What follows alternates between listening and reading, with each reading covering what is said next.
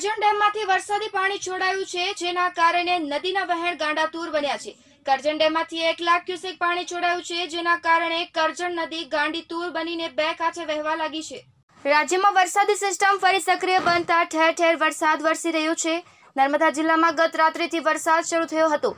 રાજપીપળા સહિત આસપાસના વિસ્તારોમાં ભારે વરસાદ થયો હતો. સાથે જ નર્મદા જિલ્લાના રાજપીપળા પાસે કરજણ ડેમના ઉપરવાસમાં એક જ રાતમાં અધધ કહી શકાય બાર ઇંચ વરસાદ નોંધાયો. જેથી કરજણ ડેમની સપાટી એકાએક વધી જતા ડેમના સાત દરવાજા ખોલવાની તંત્રને ફરજ પડી. ડેમમાંથી એક લાખ ક્યુસેક પાણી છોડાતા મંગળવારે સવારે કરજણ નદી ગાંડી તૂર બનીને બે કાંઠે વહેતી થઈ હતી, જેના કારણે રાજપીપળા સરકારી ઓવારે આવેલું સિકોતર માતાનું મંદિર પણ અડધું પાણીમાં જોવા મળ્યું હતું. ત્યારે તંત્રના એલર્ટ કરવા છતાં પણ સામે પાર બે વ્યક્તિઓ અટવાતા બ્રિજનું કામ ચાલુ હોય જેથી જેસીબી મશીન પર આ બંને વ્યક્તિઓ બેસી રહેલા જોવા મળ્યા હતા.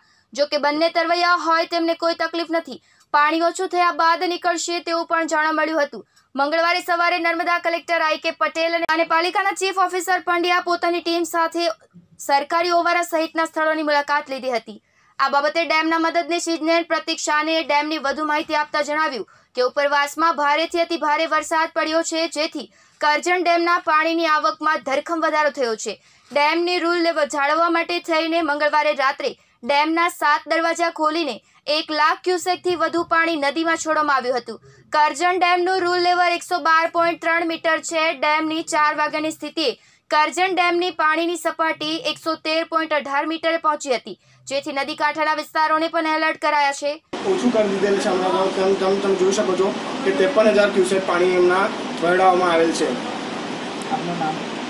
હું પ્રતિક સાને મદદની શીખું કાલે રાત્રે સાત દરવાજા ખોલીને આશરે એક લાખ તેત્રીસ હજાર ક્યુસેક પાણી વહેવડાવ વહેવડાવવામાં આવ્યું હતું જેથી જે- જેનું હાલનું લેવલ હાલની સ્થિતિએ ચાર ચાર કલાકનું લેવલ.